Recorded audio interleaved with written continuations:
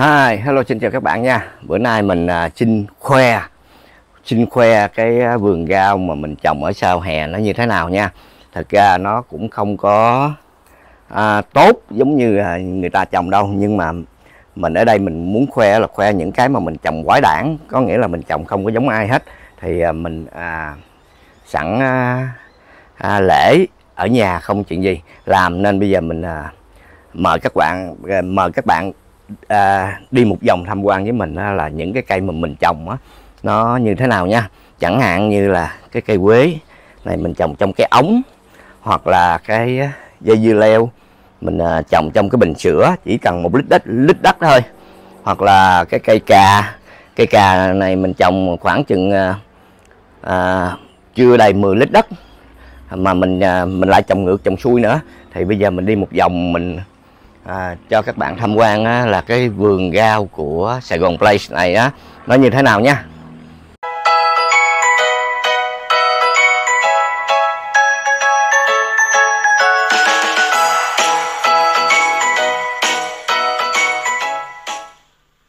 Trước tiên là mình à, khoe cái à, cây quế mà mình trồng trong cái ống à, cái ống nước cái ống nước 100 ml đây à, mình khoan những cái lỗ rồi bắt đầu cái mình ghim những cái cây quế vô mình trồng. Và ở trên mình làm một cái chai để đằng mà mình đổ nước vô á để đằng mà nó những ngày trời nóng á, mình đổ nước vô thì nó sẽ nhỏ giọt xuống nguyên ngày luôn. Và đồng thời nếu mà nước nhiều quá thì nó sẽ trữ lại ở đây. À, rồi nó bốc hơi lên. Đó là cái cây quế trong mình trồng trong cái ống PCV à, nếu mà các bạn nào mà có muốn tò mò tìm hiểu gì đó thì cứ đi vô cái kênh của mình á kiếm uh, những cái mà mình trồng về uh, làm vườn á thì các bạn sẽ thấy những cái clip video này nha. Còn cái thùng quế này thật ra mỗi năm mình đều có trồng quế nhưng mà mình trồng ở ngoài đất thì là vài bữa nó chết. Bởi vì trời nóng ở đây á nó nóng rất là nóng ban ngày nó có thể là lên bốn mươi mấy độ 41 42 độ không chừng luôn. Mà nhưng ngược lại tới tối á thì thời tiết nó sẽ xuống còn khoảng chừng à, 10 độ mười mấy độ thôi. Có nghĩa là thời, thời tiết nó thay đổi rất là lẹ. Mà trời nóng nó nóng kinh hồn lắm. Có những cây quế mà mình trồng ngoài đất hay là những cái cây mà mình trồng ngoài đất ban ngày nó có thể héo rụi hết trơn rồi ban đêm bắt đầu nó xanh lại. Thì đây là mình trồng cái cái cách của mình trồng đó là nhìn nó là lại là đất như vậy. Nhưng thực ra là cái này là mình trồng thủy thủy canh nha. Mình trồng bằng hai cái lớp thùng. Một cái lớp thùng bên ngoài á, là để giữ nước. Còn cái, cái lớp thùng bên trong á, là mình khoan những cái lỗ rồi mình đổ đất vô. Mình chỉ tưới một lần thôi cho mỗi một tuần. Thì à, cái cây quế này nếu các bạn nào mà muốn biết à, mình trồng cái cách à, trồng quế này như thế nào đó thì các bạn cũng kiếm cái cách trồng quế của mình như thế nào nha. Thì cái này nó rất là tươi tốt luôn. Đó mỗi lần mình ăn ra mình ra mình ăn, mình cứ cắt ngang cắt ngang, hoặc là mình lật lá, mình mình ăn thôi. Và cái cây này á, mình tưới nước một tuần chỉ có một lần thôi. Mình chỉ tưới vô và nó nó giữ ở phía dưới, ở đây. Nếu mà mình tưới nhiều quá, hoặc là trời mưa, gặp trời mưa nhiều quá, mình trồng ngoài đất thì nó bị thúi gốc chết. Nhưng mà ngược lại mình trồng như vậy đó, mình có tưới nước nhiều hoặc là trời mưa liên tiếp vài ba ngày, thì cái cây nó vẫn sống nha. Tại vì nó không có chữ nước mà nước ở dưới nó sẽ chảy ra thì các bạn muốn biết mình trồng cái cách cái cách trồng cây quế này như thế nào á các bạn tìm kiếm cách trồng quế của mình nha. Và xả mình trồng sang kẽ đây mình trồng sang kẽ xả xả xả xả dài xuống tuốt ở dưới kia luôn. À, không phải là mình trồng để ăn mà mình trồng để đặng mà chống mũi. Thật ra ở úc ở sydney này mũi cũng khá nhiều đó nên mình trồng như vậy. Thì cái thùng quế đây là mình trồng được hai thùng đây và cái ống ở đó và mình trồng bên ngoài nữa. Còn đây là dây dưa leo. À, cái này là bình sữa 2 lít rồi mình cắt ngang chỉ có một khúc thôi. Thì à, khoảng chừng một lít đất thôi. Mình trồng chỉ có một lít một lít đất thôi rồi bắt đầu mình cho nó leo trên leo lên hàng rào. Và nói nào ngay là trái mình mua cái giống này á trái nó không có nhiều nhưng mà trái nó rất là to nha. Đây cái trái đây đây mình mình, mình cho các bạn xem cái, cái cuốn nó từ trên đây mà nó dài hơn một găng tay mình luôn. Đó tại vì cái trái nó nằm tuốt tuốt dưới đây bạn. Đó các bạn thấy không? Đó. nó dài hơn găng tay luôn khoảng một găng rưỡi tay. Và kế tiếp là cái cây cà của mình. Đây là cây cà mình cũng trồng trong cái thùng rồi mình treo lên. Một cây thì mình trồng cho nó ngóc đầu lên và một cây thì mình cho nó ngóc đầu xuống đây là cái cây ngóc đầu lên. Nó nó cong đây. Nó nặng nó cái trái nó nó nặng rồi nó quằn xuống. Đó. Còn à, một cây thì mình trồng ở dưới cái đít thùng. Mình dùi cái đít thùng bắt đầu cái mình cho cái gốc nó vô. Thì các bạn nào mà muốn biết cái cách mình trồng cà như thế nào á thì các bạn cũng đi vào kênh của mình. Cái kênh Sài Gòn Play Garden á. Trong cái playlist uh, kêu là danh sách phát á thì sẽ có nha hiện giờ thì chưa có tại vì mình chưa làm video. Nhưng mà sau này á, nếu các bạn muốn tìm hiểu cách trồng cà chua của mình như thế nào thì các bạn có thể vào xem. À, nó trái rất là nhiều nha. Một chùm này không á, cũng hơn chục trái đó. À, bắt đầu có một vài trái chín rồi. Ở phía dưới thì mình trồng sang kẽ sang kẽ mình trồng xả. Thì các bạn nào cũng muốn biết là cái cách mình trồng xả như thế nào đó thì các bạn cũng có thể vào xem nha à, cách trồng của mình đó là mình găm xuống là sống hết. Tất cả đều sống hết. Và đây là cũng là dây dưa leo. Cứ à, một dây dưa leo cách cây cà dây, dây à, một dây dưa leo. Giống như lúc nãy. Thì trái này cũng to lắm nè. Đó, các bạn thấy không? Hơn găng tay. Nhưng mà trái ít nha. Nhưng mà trái rất là to. Đây là tới cây cà chua. Thì cây cà chua này cũng giống như à, cái ở đằng đẳng thì một cây mình trồng ngóc lên. Và một cây thì mình trồng ngóc xuống. Nhưng mà trái bắt đầu nó có trái nhiều, bắt đầu nặng, bắt đầu cái cây nó quằn nó quằn xuống nên mình phải lấy cái cái móc mình mình treo nó lên trở lại. Tại vài bữa những cái trái này mà ra, cái cây nó sẽ bị sệ xuống đất. Mình không có muốn nó nằm nằm dưới đất. Nên thành nữ là mình à, mình lấy cái móc mình mình móc lên. Đây đây cũng là cây cái dưa leo nữa đây. Đây là các bạn thấy không? Trái nào? Trái nào cũng hơn chân tay hết. Và đồng thời mình trồng xả ở dưới nha. À, hồi xưa là cái phía bên đây của mình là mình trồng cây bên đây. À, mấy năm trước nhưng mà cái vấn đề là ở trên đây có những cái cây rất là to luôn. Cái sân nhà mình đó, nó không có ánh nắng. Đó. Như các bạn thấy phía ở trên đầu có nghĩa là cái sân này quanh năm quanh năm không có miếng nắng nào hết. Nên mình trồng cây bên đây không có sống. Nên thành thử ra mình mới đổi đổi vị trí. Mình phá bên đây. Mình đem qua bên đây mình mình trồng phía bên đây. Thì bây giờ mình sẽ đi dài tới một vòng cho các bạn xem. Cái, cái vườn rau của mình ha. Đó thì là xả đây là mình trồng xen kẻ đây. Mình à, bạn nào mà muốn biết cách trồng xả của mình á, thì cứ vào kênh của mình à, à vào cái play, playlist cái danh sách phát á, Sài Gòn Play Garden thì các bạn sẽ thấy nha. À, mình à, cái này mình đã làm mấy tháng trước rồi. Còn đây là cái vàng thanh long của mình. Cái vàng thanh long mình trồng lúc trước. Thì mình muốn tiết kiệm à, không gian và tiết kiệm đất. Nên mình trồng ở đây là những cái bụi à, bụi ngò gai. Thật ra mấy cái ngò gai này cái lá nó dài lắm. Mỗi lần ăn là mình cắt sát luôn. Mình cắt sát luôn. Mà tới chừng mà nó lên thì nó lên lại thôi mình thì mình trồng xung quanh đây nè, mà một bụi, mình trồng xuống một tép mà nhưng một bụi nó nhảy ra nhiều lắm nha. Đó. Cứ mỗi lần mình ăn thì mình cứ cắt cắt sát nó đi, chứ không ấy thì cái cái lá già nó ra hoài à. Thì cũng khá nhiều luôn.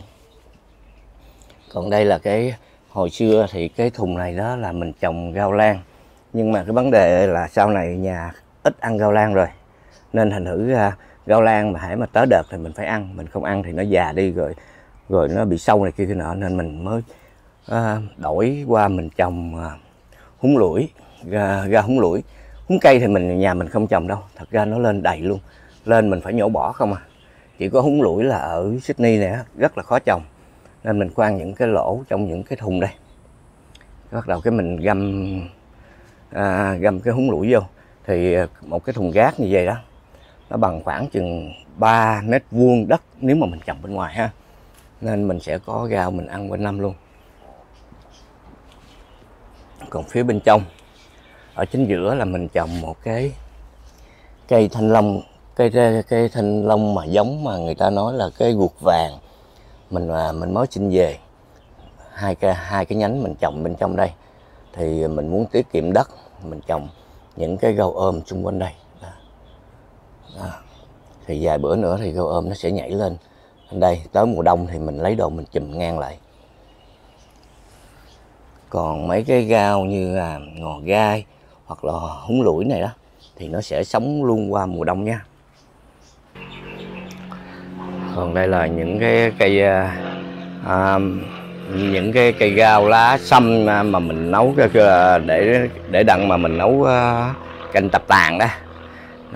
Thật ra nó mọc ở dưới đất nhiều lắm gao dền này kia đủ thứ hết trơn á mùa hè còn đây là cây ớt. Còn cái cây là cây à, à, tự nhiên mình quên tiếng việt rồi. Cây Ola, Olavera vậy đó. À, đây là những cái cây à, cây kiển này. Và bên đây cũng có cây ớt nữa đây. Dạ. Cái này là cây ớt vàng. Còn những cái cây ớt mà mình trồng trung bình đó là mình trồng chơi trồng kiển thôi còn đây là cây tre cây chanh. À, ổ mà mình à, ươm những cái rau thơm trái mùa. Chẳng hạn như à, tía tô thì khoảng chừng vài bữa nữa thì nó sẽ khoảng chừng tháng 5 là bắt đầu nó chết hết rồi. Nên mình muốn cho nó trái mùa đi thì mình đem à, những cái hộp mình thảy ra đây. Trong khi mùa đông người ta không có thì mình sẽ có ăn. Tại vì bây giờ bắt đầu nó mới mọc lên thôi. Và cái chỗ cái vườn nhỏ này của mình đó là mình trồng à, à, cả cải bẹ xanh con. À, sẽ có ăn hoài. Đây là cái cây nhãn của mình. Và ở đây á, là mình muốn mình, mình mình quay cho các bạn xem đây là cái à, kia là cái gì? Bạc hà à, dục mùng. À, nó rất là tốt luôn. Cái lá cái lá nó bự lắm. Rồi các bạn coi cái bàn tay của mình như vậy đây mà cái lá nó như vậy đây, phải là gần bốn găng tay chiều dài và hai hai hai gan bề ngang. Cái lá nó rất là bự và cái cây nó rất là cao. Cái cây nó cao ngang ngang vai mình luôn. Đó. Thì cái này mình cũng mới vừa giờ qua mình trồng qua năm nay thôi. Tại mấy năm trước là mình trồng mép bên kia, nhưng vì không có nắng nên mình mình giờ qua đây. Đây, cái lá này là đứng qua khỏi vai mình rồi đó. Nó cao vậy đó.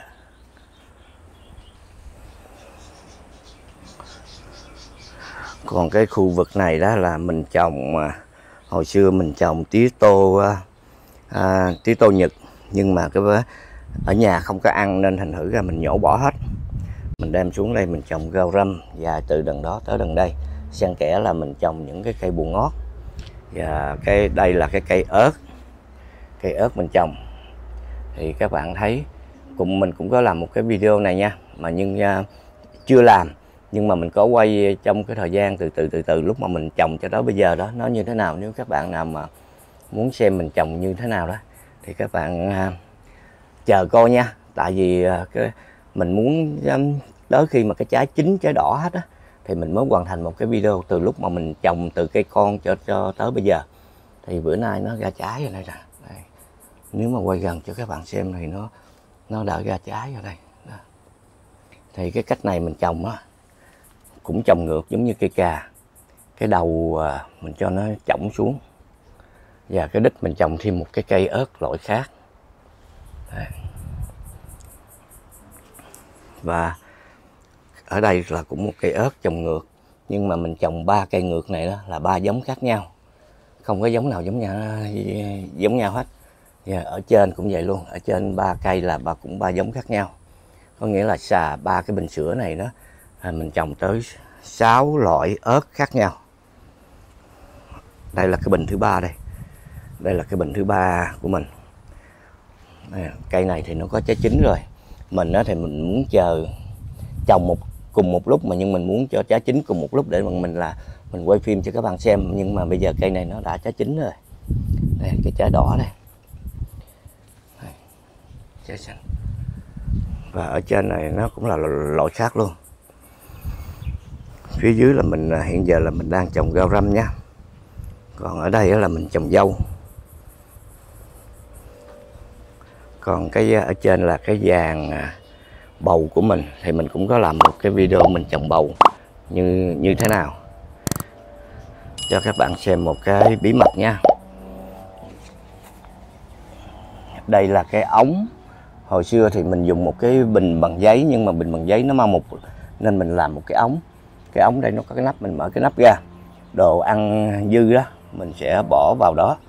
Thì à, để đằng mà làm phân để đằng mà bón cho cho cây nha chẳng hạn như chuối hay là đồ nhà bếp á, thì mình bỏ vào đó.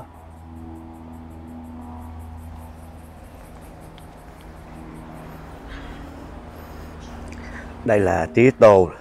Tía tô Việt Nam mình là tía tô đỏ. Mình có tía tô Nhật nữa. Mình trồng ở đằng kia nhổ bỏ đi và ở đây mình cũng trồng tía tô Nhật nhưng vì là ở nhà không ai ăn hết nên mình bỏ đi. Còn đây là tía tô đại hàng. Cái lá nó cũng khá bự đó gần bằng bàn tay của mình luôn. Đó. và ở đây mình mình trồng dâu ha. Đây là, là mình trồng dâu. Còn ở đây là kinh giới mình trồng kinh giới đây. Và ở bên đây là mình trồng à, à, diếp cá đây ăn không bao giờ hết mình chỉ trồng khoảng chừng một mét vuông thôi. Mà lúc nào nó cũng ra bông mỗi lần mình ăn á, là mình cắt. Đây giống như mình ăn cái lõm này mình cắt cái lõm này xong rồi là mình ăn dần dần qua. Mình ăn giáp vòng thì trở lại chỗ này nó sẽ cao lên lại là ở đây cũng thêm một cái bình à, rau à, húng lủi mà mình trồng. Không cần tưới đây. Ở đây ở dưới đây nó đựng chứa nước ở dưới đây. Và mình đổ nước vô đây những ngày trời nắng đó nó sẽ nhỏ giọt nhỏ giọt xuống hoài dây bầu bữa nay nó nó được ba trái rồi đây. Thực ra nó ra trái rất là nhiều luôn. Nhưng mà vì trời mưa á, nên nó bị thúi. Nó à, hãy mỗi lần mà trái mà mới vừa ra mà gặp trời mưa là nó thúi hết. Chứ thật ra là trái nhiều lắm. Nếu mà trời nắng cho mình khoảng chừng một tuần mà không có mưa thì là trái nó đậu rất là nhiều.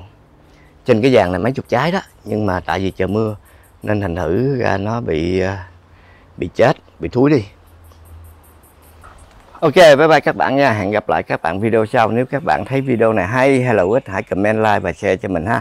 Và nếu chưa subscribe thì subscribe cả nha. Cái bên subscribe nó có cái chuông bấm vào cái chuông cái nữa chọn là tất cả trong tiếng Việt còn tiếng Anh đó thì bấm vào chữ O à, để mỗi khi mình có video mới ra đó thì YouTube sẽ thông báo cho các bạn liền.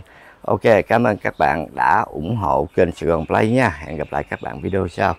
Bye.